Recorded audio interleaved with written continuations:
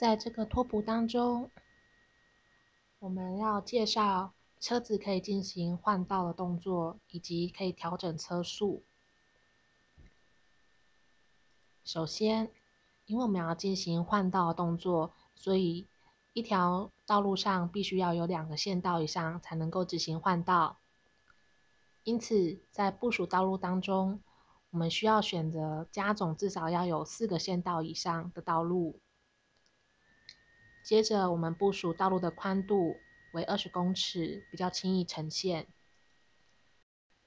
接着，我们部署八零二一一 AG A 大哈莫的车辆为二三四节点。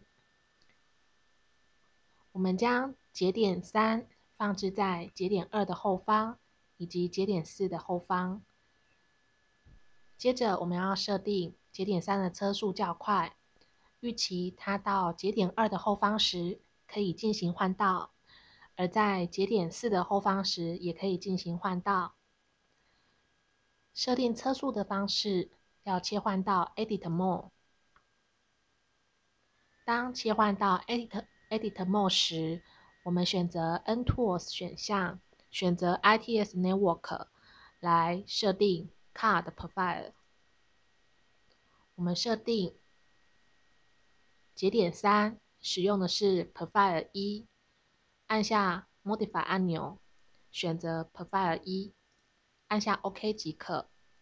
接着我们要设定 Profile 一的参数值，Profile 一预设值最大速度为十八，在此我们将它修改为三十。编辑方式如同 VI 或 VIN 一般，按下字母 I 即可。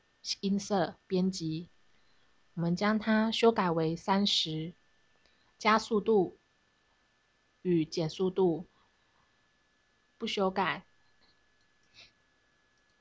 好，接着我们按下 ESC 键，并按下冒号 X 小写 X 来存取。